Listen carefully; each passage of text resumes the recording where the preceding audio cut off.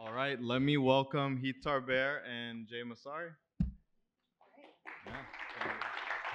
Pat to start. Yes.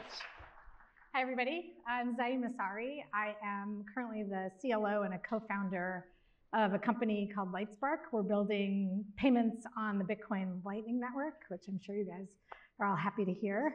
Um, I'm going to be moderating a conversation uh, with my friend Heath.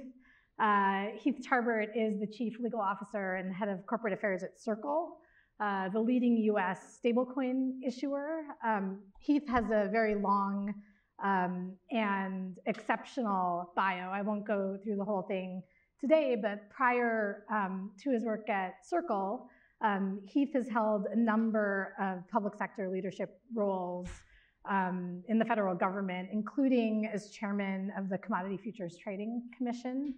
Um, he was Assistant Secretary of the Treasury for International Markets and Development and was an Associate White House Counsel.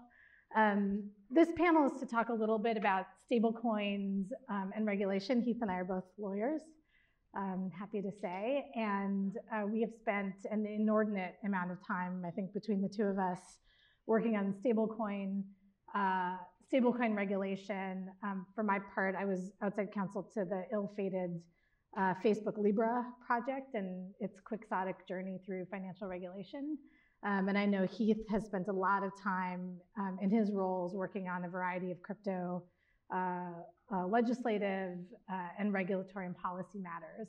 Um, so we're just going to start with some questions. We'll have um, time for audience questions um, at the end of the discussion. Um, though if somebody has a pressing question that they just really are excited to ask um, as part of the conversation, um, please feel free to do that. We can we can be pretty flexible um, as we start. So Heath, thanks for for being here. Great, great, to be here. We promise we're going to not make this boring. Okay, we're going to you know, but because as the last panel I think demonstrated, the legal stuff matters. It matters a lot to this market.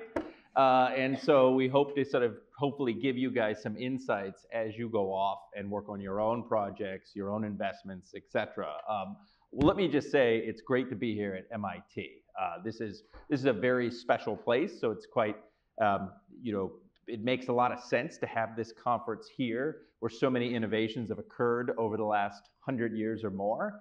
Um, I also think it's important that we're talking about stablecoins at a Bitcoin expo, right? It all started with Bitcoin. We would not be having discussions about digital assets, the transformation of the financial system, Web3, the third generation of the internet, had it not been for that symbol right over there. So um, it's great to be here. And of course, the other thing is, is Circle is a, is a product of the Boston Cambridge uh, fintech incubator. Uh, we were founded in Boston, uh, pr- proud of that fact, and um, and so it's great for me to be here with all of you today. So, with that, we'll Let's go into it. the substance. Let's yes. do it. Um, so the, the panel before this um, was a really interesting conversation about ETFs and Bitcoin ETFs in particular. Um, we're going to try to tie a little bit the ETF um, topic and theme with that of stablecoins and the regulatory environment in general. Um, so Heath, maybe you could talk a little bit about how um, the ETF approval process um, is different from the stablecoin sort of regulatory world. Like, what's the difference? Like, ETFs needed to be approved by the SEC. Like, what's the story for stablecoins? Yeah, so an ETF is a pooled collective investment vehicle. They've been around for decades, and before them were mutual funds that have been around since you know the 1970s or so. Those are traditional investment vehicles governed by the securities laws, right? And so, really, what what the ETF market, why it's so important that those ETFs got approved is that it basically merged the traditional finance system and means of investing in products that that most Americans are familiar with and their financial advisors with the underlying, uh, underlying digital assets. And so the approval process for the ETF, while the regulators asked questions about the Bitcoin spot market, the Bitcoin future market, tried to understand it, ultimately they were approving the issuance and offering and listing of a traditional security. It just so happens that the underlying assets of that pool of, of investments was Bitcoin, Bitcoin futures in one case, or two cases, Bitcoin uh, uh, spot, you know, the actual underlying Bitcoin in, in the case of the grayscale. Um, and so stable coins are, are not securities. We'll talk a little bit about that, but they are a digital asset in themselves. And our view, Circle's view of, of what a stable coin is, is it's essentially a, uh, a substitute for money. It's essentially a dollar in the case of USDC on the blockchain, uh, blockchain technology. And so that's the whole point. It is a form of money. It is not a security. And so the approval process for stablecoins has traditionally been uh, we've, we fit it under state money transmitter regula- regulations. So these were laws that were set up in some cases the 1970s, the 1980s, um, and, and we are regulated under that regime. Again, it's not entirely fit for purpose, but the point is to make sure that if someone is transmitting money back and forth, uh, they, are, they are well regulated, they have enough money to back up the promises that they're making.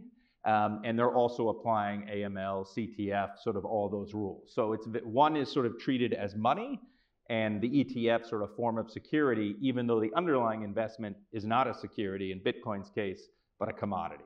I mean, I think this is a really important point that you're highlighting, and um, explains a little bit why we as lawyers care, especially in the United States, I think, care so much about the characterization, the fundamental legal characterization of tokens, digital assets, cryptocurrencies, right? And I think a lot of the SEC discussion, or at least part of it, was like, what is Bitcoin?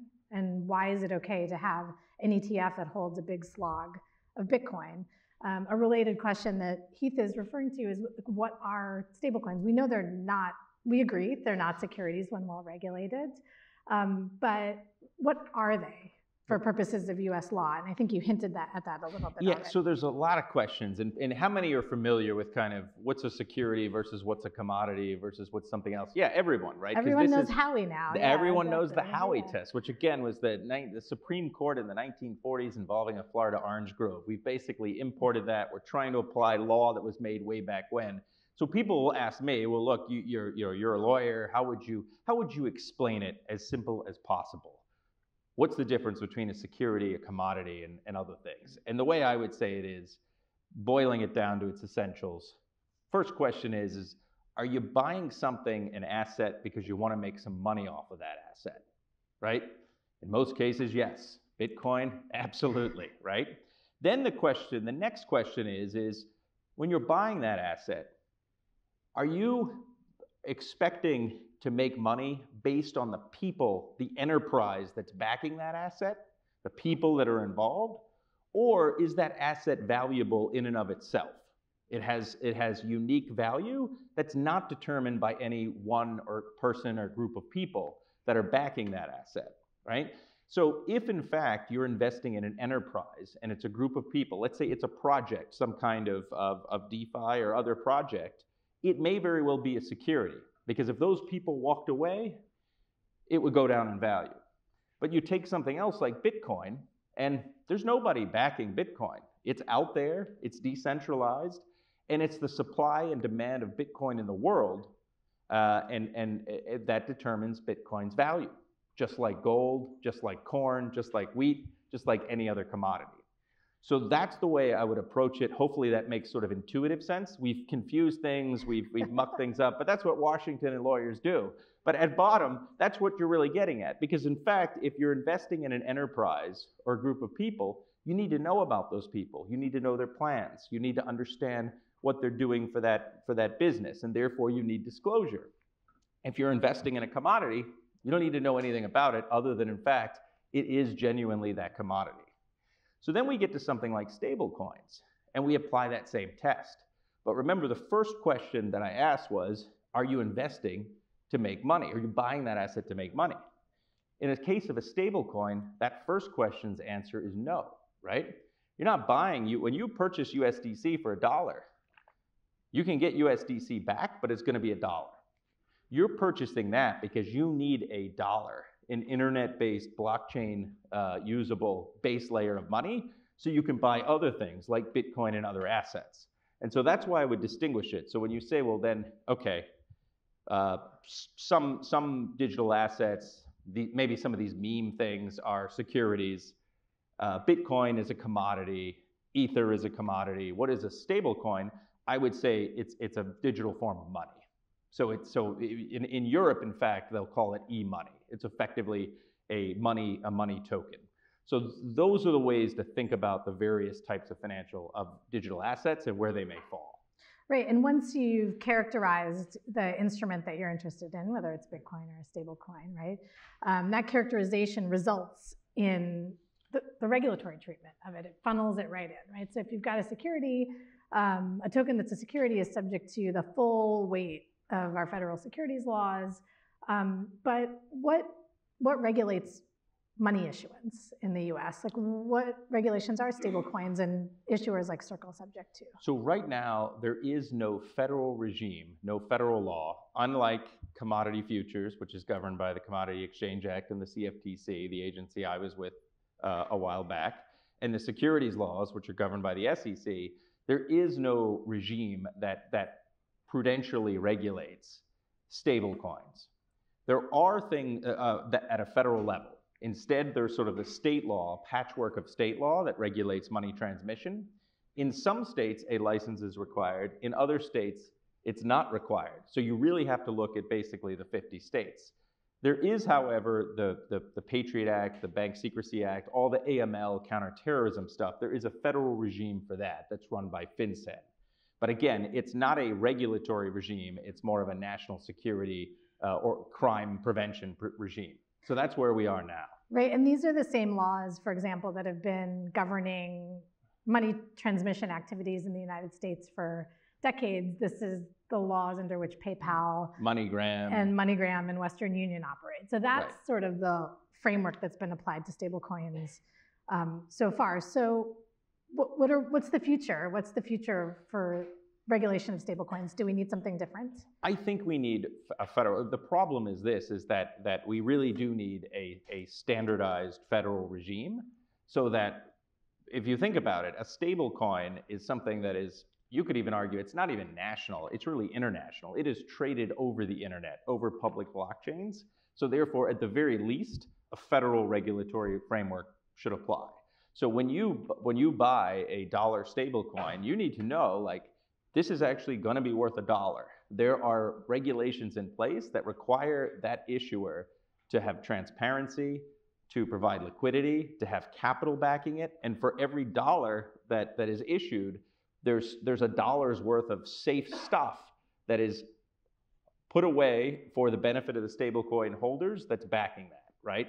And we see there's a number of stablecoins out there that, well, to be frank, like are not stable, right? They're not either backed by the actual assets, the fiat fiat denominated assets. In some cases they're algorithmic, but in other cases they're backed by a package of assets that may not ultimately be worth the dollar, right? And so so we need the confidence because what we can't have is a situation where that fundamental base layer of web3 transactions is in doubt, where people aren't sure whether they can actually use the dollar, right? That, ensuring that that base layer of money is well regulated, transparent, and people have confidence in it will allow all these other projects, many of which you guys are working on, to come to fruition. So that's why it's so important that we get that base layer right.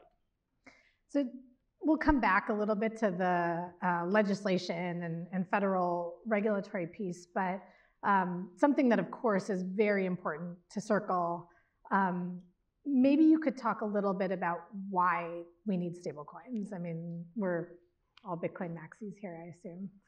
But why do we why do we need stablecoins? What are what, what's deficient in the payments world today or in the world today? Well, right now, Bitcoin, right, are quoted in dollars in, in most cases, particularly Bitcoin futures. And so if you want to buy digital assets like Bitcoin, like Ether, other things, you have to go through the traditional banking system and convert dollars and get them online and then be able to use them to get in and out. So we've got these off ramps that were built in the 1970s, on and off ramps to the digital asset system. What we need is, is money, fiat money, that is native to the blockchain and digital asset world. And so that's sort of the real gap that I think Circle saw. We're not trying to replicate uh, Bitcoin. We're not trying to replicate Ether. In some ways, the product that we offer, our flagship product, USDC, is arguably the most boring product in all of crypto. But we would argue it's probably the most important, right? because it enables you to keep your money in real dollars, effectively dollars, but but on chain in the on in your wallet, so you can easily move in and out of the other assets that you want to invest in. Just to push on it a little bit, right? Yes. Because um, we all have privately issued digital money, right? Most of our money isn't paper cash, right? It is uh, commercial bank deposits. Um, what's the difference between a bank deposit and, uh, and Yeah, USDC? it's, it's, a, it's, it's the decentralized ledger, right? So, so yes, ultimately you've got the centralized ledger, ledgers, and when you think about it, it's a great point. Because people are like, well, I don't know about stable coins. It's like private money. But guess what, folks? Of the $21 trillion that makes up M, M1 and M2 in the US financial system, about 22 in M2, only a trillion of that, so 5%, is actually Fed money. The vast majority of our money supply are Citibank dollars, Bank of America dollars, all sorts of other digital dollars that are on these centralized ledgers. And so the difference between stablecoin and those are stablecoins are actually on the decentralized ledgers, right? They're part of this new Web3 infrastructure. And the other thing I would say is that they're actually backed one for one by fiat money. They are sound in a way that, you know, the bank deposits, really what they're banked what they're backed by is capital requirements, some reserves, and ultimately FDIC insurance for just a small portion of it, and access to the discount window at the Fed. So it is one one could argue that all things being equal, and that's why I think we've got to really be careful when we think about tokenized deposits as a form of new internet money. Is um, it's not backed one for one. It's just taking the existing banking system, which only exists in its most stable form because of government intervention, and applying that to Web3. So I think my, our, my strong view and our thesis is, is that if we're going to have the new internet money and we're going to have dollar representations, it should be backed one for one. Yeah, I think another way to say that, and I know you've heard me say this before too, is um, I think a nice conceptual framing for stablecoins is ideally they function as non-credit money, right? The way that a paper dollar bill or a $20 bill is non-credit money in the sense that if I give Heath a $20 bill, um, Heath doesn't have to do anything to settle that transaction on the back end, right? It's just the transfer of the actual note um, transfers the value. And stablecoins work the same way, just like Bitcoin works that way, right? Once you've got a settled transaction in Bitcoin, everybody can go see that you have the transaction. Nothing else needs to happen on the back end. Now, if I pay Heath um, from my Citi account to his Wells Fargo account, sorry, I don't know, right? Like we can do an electronic transfer on Zelle, but then what has to happen in the back is the banks have to then transform my uh, deposit against Citi to his deposit against Wells Fargo in the back end um, because Citi dollars and Wells Fargo dollars are not fungible with each other. One is a credit against Citi, one is a credit against Wells Fargo, but stablecoins are actual uh, bearer instruments where you can transfer value by virtue of moving them from one person to another. That is like a fundamentally different mechanic than commercial bank deposits. It's the difference between credit money and non-credit money. That's right. I- it- the, the, the biggest difference is rather than having people in the back rooms of the large banks debiting and crediting their own centralized books, you actually have the movement of value over the on chain. Um, and the same would be true for deposit tokens, right? You can transfer those on chain, but then you have to settle up off chain behind the scenes. Um, so what about the third leg of the stool, right? We've got stable coins, we've got commercial bank deposits or tokenized deposits.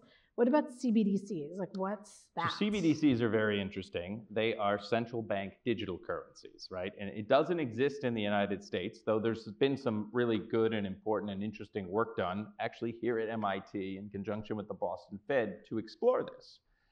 But apart from the technical issues involved, which we have experts here that can talk far better to those than I can, the concern about CBDCs in the United States is, is I'd say goes really to the heart of what it means to be an American and democracy and civil liberties, right? There's a big concern. It's one thing to have paper money floating around uh, and, and have that be the Federal Reserve. It's quite another thing to have a digital bearer asset that the central bank is tracking at all times in all wallets and in all purchases, right? And so we only have to look to China for the example of a CBDC, which in part I think is meant to advance um, national goals with respect to technology, but also in part to track uh, the social activities of the citizens.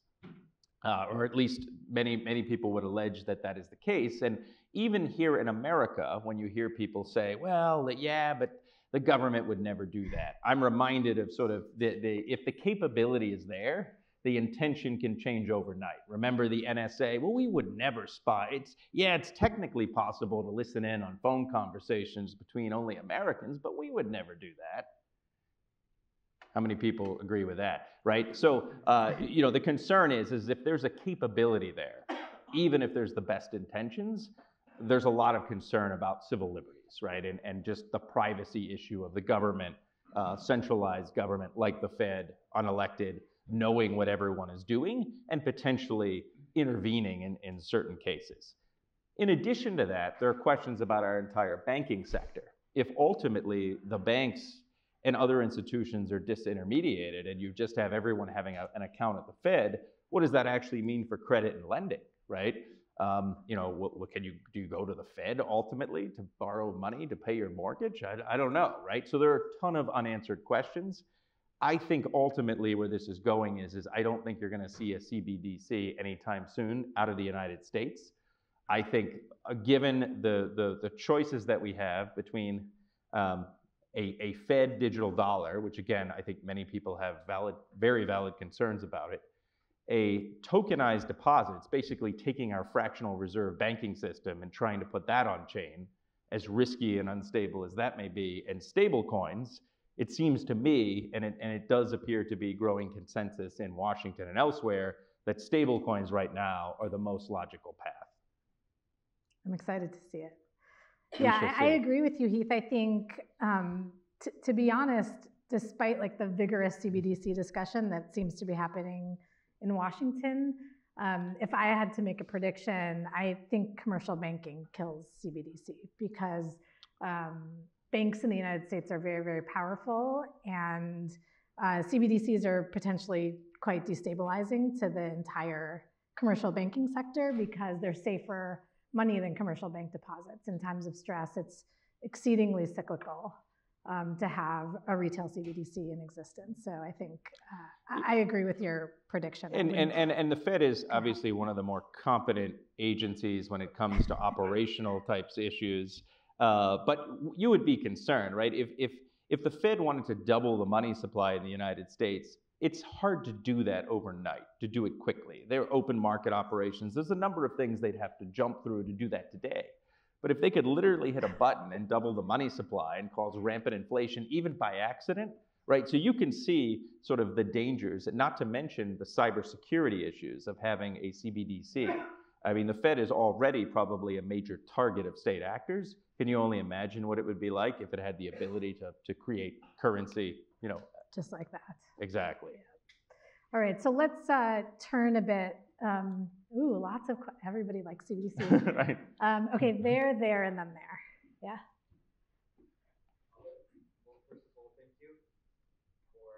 Oh, the information and the panel.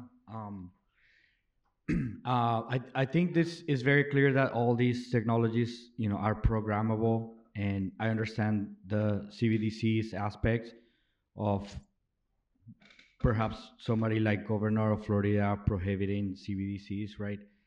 Any state has its own stance.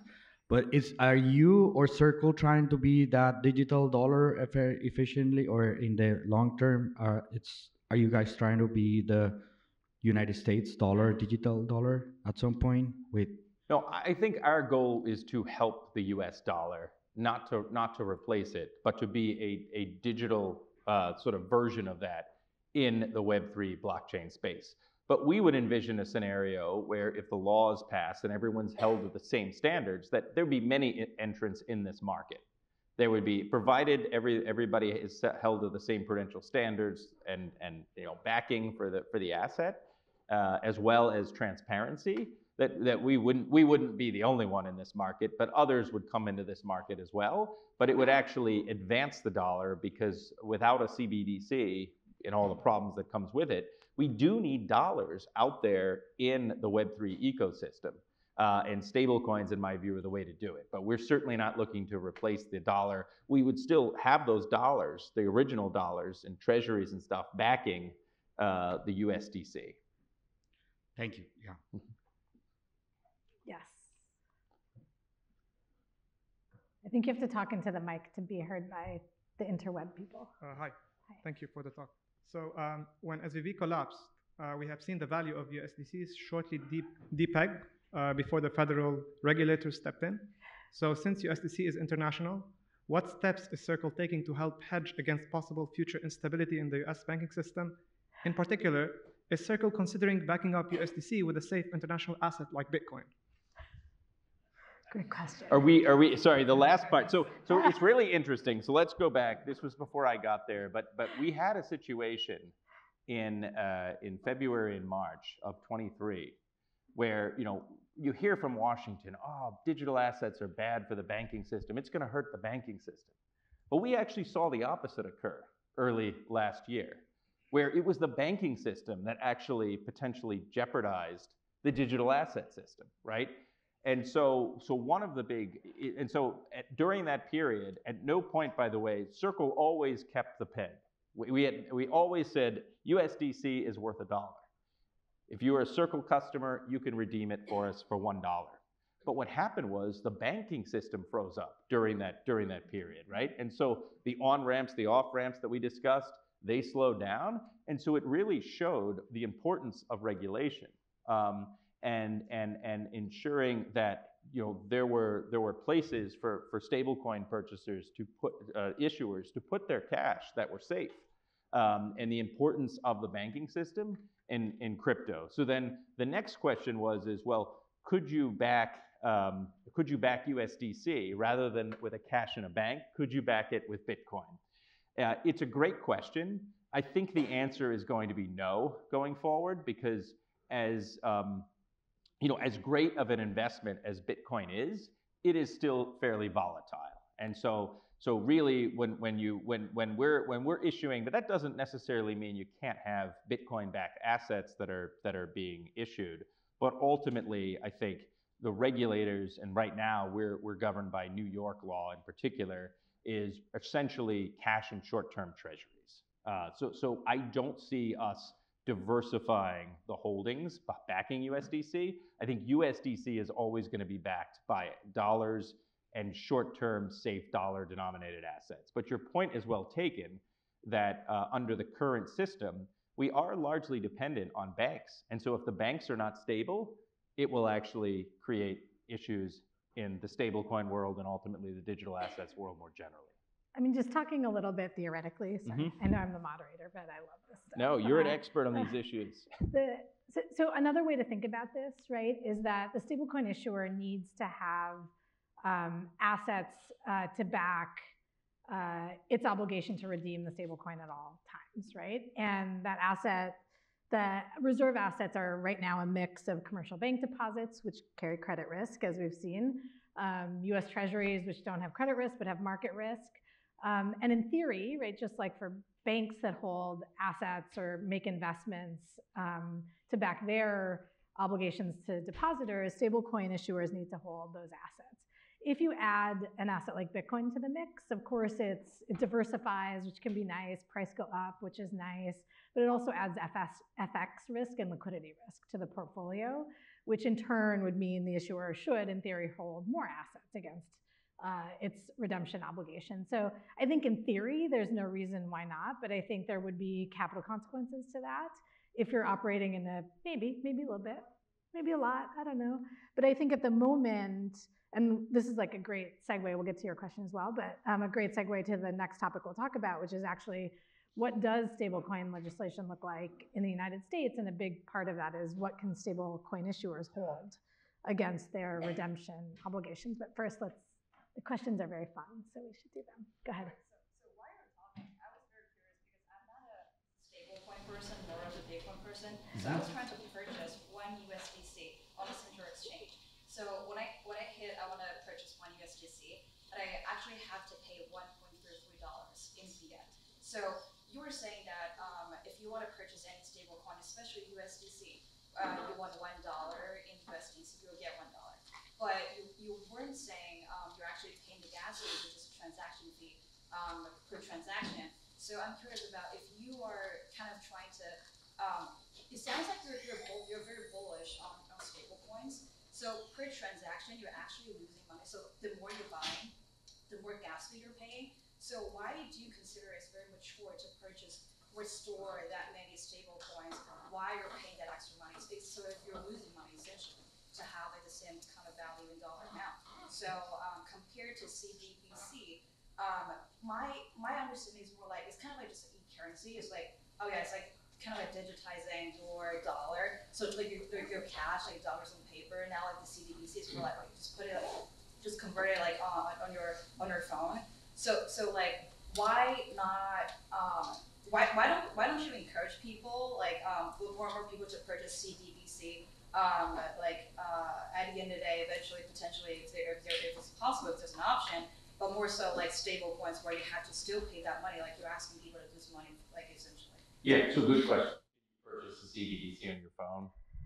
You can't now, right? so they don't exist. We, we, we honestly don't know um, what CBDCs will look like, whether they'll actually come to fruition. And then, of course, you're assuming that there's not going to be transactions costs involved with them. They may very well. So, so we don't know. We'll put those to the side. Very good question about stable coins.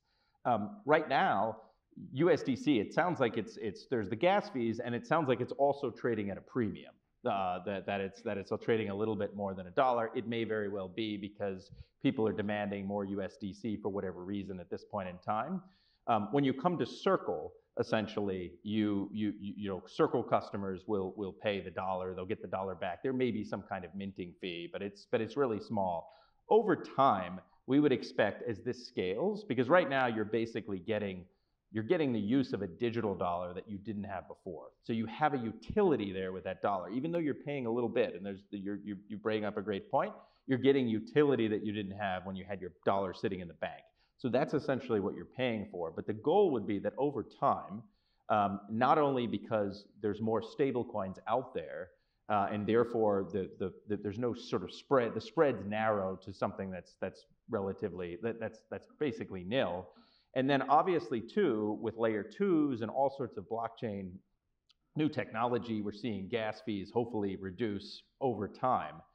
It will become largely seamless, but that is the goal. Right now, we haven't scaled to the point where where you, know you're able to sort of exchange things with with with with with no value transferred or no no additional value but the hope would be one day that will be the case but right now you are getting a digital dollar you didn't have before and that's sort of the value proposition So it sounds like USDC to me is derivative of, dollars, not directly uh. So just like, yeah, because I kind of like, I'm getting like fractional out of the dollar that I'm paying because I have to pay more.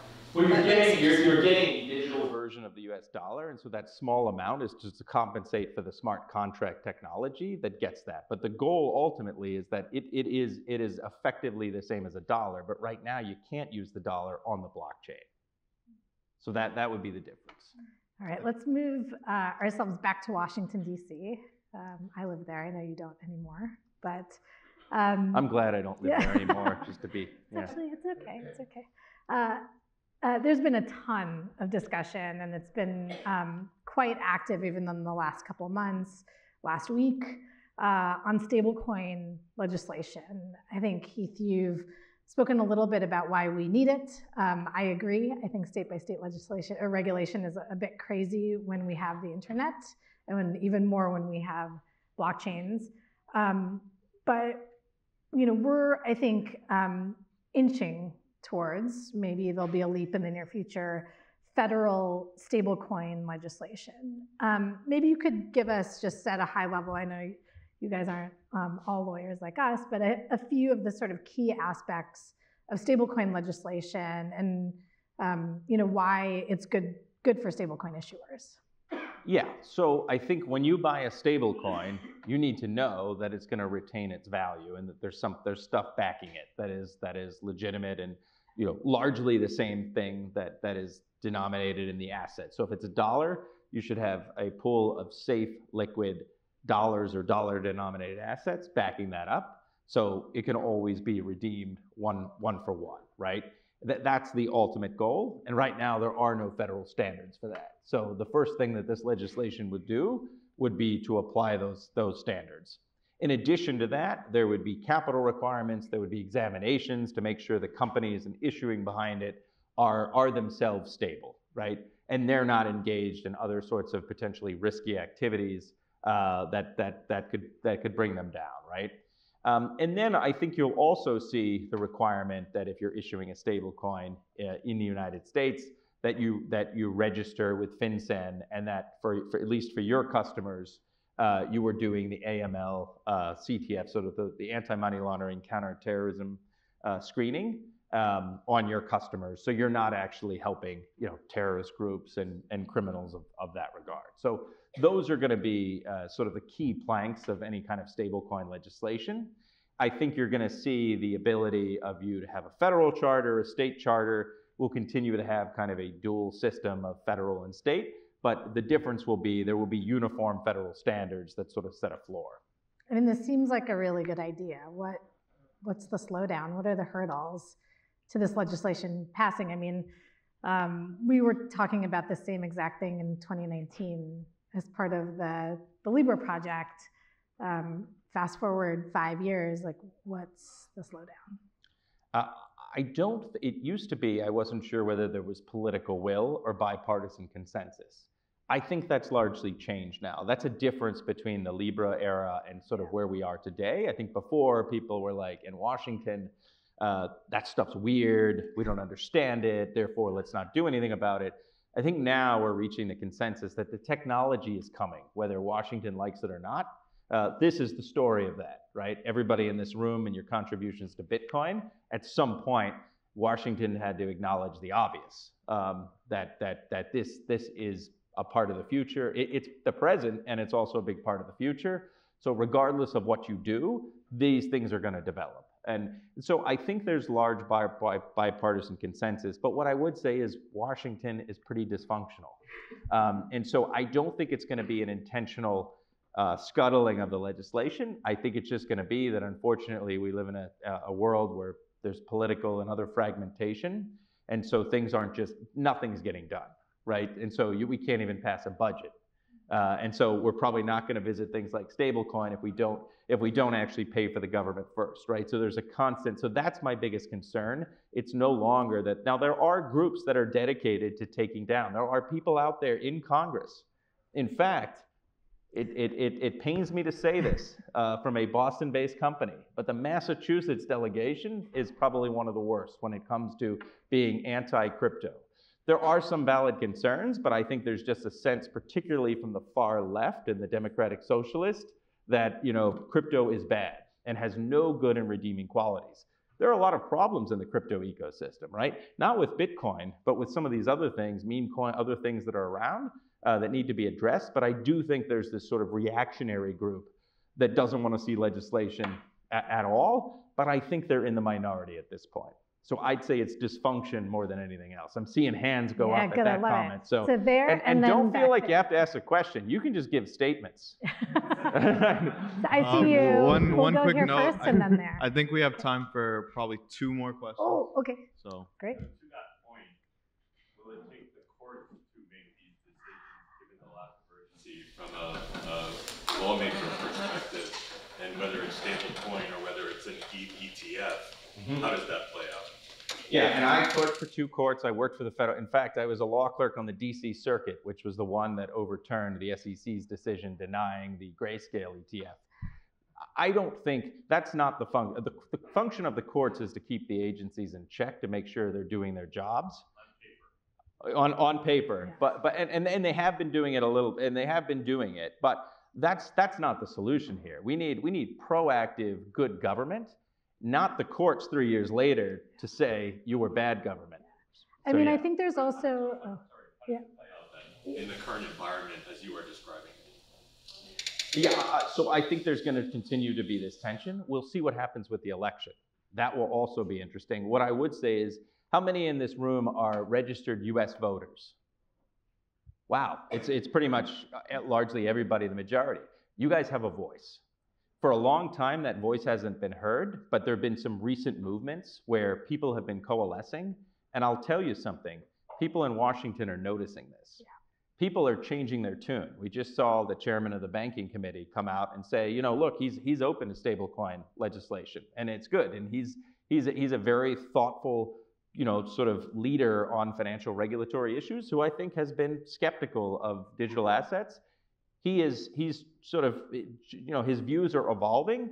I think part of that is because we've been doing a lot of educational efforts. I think part of it is is the electorate wants these changes. And so I would I would say to each and every one of you, you guys have a voice and I would encourage you to use it, particularly as we as we enter this presidential election cycle. I would also make a distinction between different types of legal issues in crypto, right? Crypto is not monolithic. On um, the securities side, like stablecoins, like despite every once in a while the SEC saying something weird, like USDC is not a security. Like PayPal's stablecoin is not a security. Like that, there's no real contention about that anymore. And so there isn't really the same need for clarification in the courts as compared to other kinds of tokens where there really is a basic question about whether those things are securities or not. I we all have views about this, right? But there is that that's where you really need the courts to step in, where you have the SEC asserting jurisdiction because of the fundamental status of the token. Here, for stablecoins, actually, they're legal, right? Like they're totally legal under existing law. The characterization is clear. The question now is, is the existing law under which they're regulated, that is state money transmission laws, sufficient for this new form factor of them being on chain? Um, okay, wait, enthusiastic questioner back there. Good, yeah. Sorry, you're gonna have to come to the mic. I don't, we can't, or yell. Or yell really Yeah, loudly. Yeah. sorry, in most of the jurisdictions, uh, there are non-regulations uh, for, for the crypto asset uh, industry. So what kind of challenges the industry is uh, facing due to non-regulations and its impact on business? Ah, Wait, this is actually my next question for you. So, who are the winners and losers if there is stablecoin legislation and if there isn't stablecoin legislation? So the winners, I think, are everyone in the digital asset ecosystem. So full on. I mean, and, and, and the reason I say that is not only will you have now more stable coins, which again I think will bring down transactions costs. You'll be able to trust the stable coins. Um, but it'll also serve as that base layer of money for the digital asset system. And I think create the kind of legitimacy that we're seeing with the ETFs for more constructive legislation and work in this field. So in other words, I feel like stable coins are the most simple thing to get done first, and they can serve as the bedrock to move this industry forward. So everybody in this room, I think, wins there. Who else wins? Well, with stable coins, I think anybody, I see a lot of people who, who, who, are, who are from another place and have family. How many people have family overseas and you send money back and forth? All right, another good show of hands, about 25% of the room. How many of you guys are tired of paying 7% or whatever to send your money? Yes, everyone. Uh, stable coins will, will solve that problem because now you'll be able to send money from wallet to wallet seamlessly with, with virtually, you know, no, no fees, right? You know, and so, so that's a huge thing. And then I think the entire financial system, as we move to maybe a Web3 version, the new internet financial system, uh, everyone that's waited five days for stuff to clear from the bank you may no longer have to worry about that as well. So I think they're huge winners. Who are the losers? Um, I think the large, centralized big banks and financial institutions that are adverse to change and want things to stay the way they are, they will lose, right? They can win if they pivot and they embrace the technology. Some of them are, but a lot of them aren't. Um, and then finally, I would say overseas and other actors that uh, have stable coins that don't comply with with with sort of you know the the the, the prudential standards, the transparency, et cetera. I think unless they register, you're going to see money move out of those types of products and into safer, more regulated products. Okay, should we do a couple of weeks? We're done? We're done. We're done. All Sorry, right. everybody. Thank you guys. Cheers.